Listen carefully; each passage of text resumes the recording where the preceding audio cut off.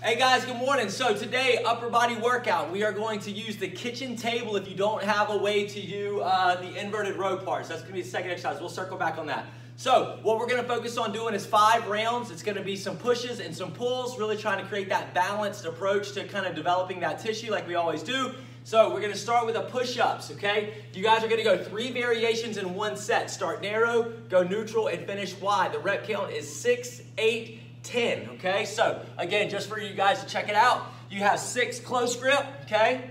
Then you're gonna go a little wider, you have eight neutral, then you're gonna take it all the way out, and you have 10.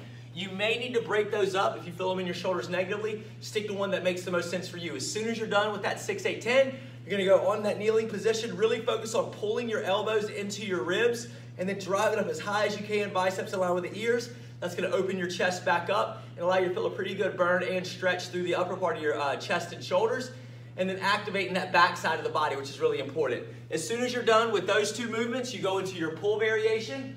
Again, you're trying to use like a coffee, I mean a uh, kitchen table, something with some height.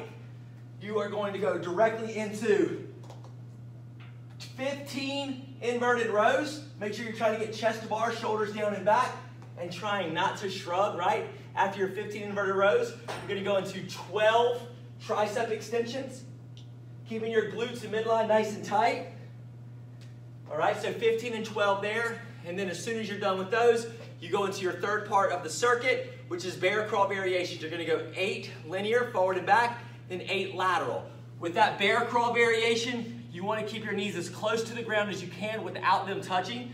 And you move opposite arm and leg. So you're gonna go four forward, right? Opposite arm and leg, four backwards, right? And then opposite arm and leg again, you're gonna go four lateral and four the other way.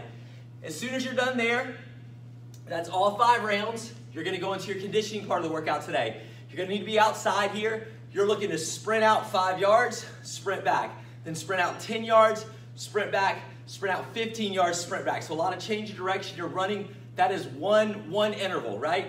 As soon as you get done with that run, you guys are gonna go into superhumans, which is laying on your stomach, just an opportunity to pull your shoulders down and back and give me 15 there.